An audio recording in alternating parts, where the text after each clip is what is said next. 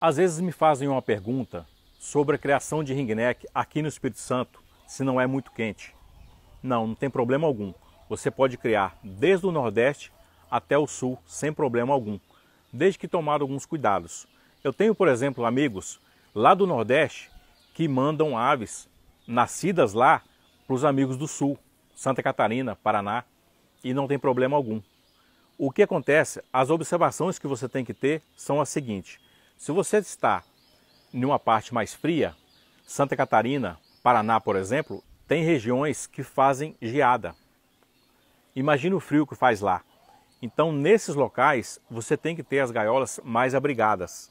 Você não pode ter a gaiola como no Nordeste, que fica mais ao ar livre. No Sul, como tem geada e tem muito vento frio, você tem que abrigar mais o seu criatório. E no litoral? No litoral, pode acontecer das, dos viveiros enferrujarem mais rápido, mas isso é estética. Aí você vai ter que realmente trocar. O período de reprodução pode variar do norte para o sul, mas fora isso, não tem problema algum. Na comunidade Rei das Aves tem gente de todo o país, desde o nordeste até no sul. Isso é muito bom para nós trocarmos ideias. Inclusive, eu vou abrir novas vagas na comunidade Rei das Aves daqui a alguns dias. Me siga no Instagram que eu vou te avisar por lá quando você puder entrar também. Se você quer aprender tudo sobre aves exóticas, clique no link abaixo e me siga no Instagram.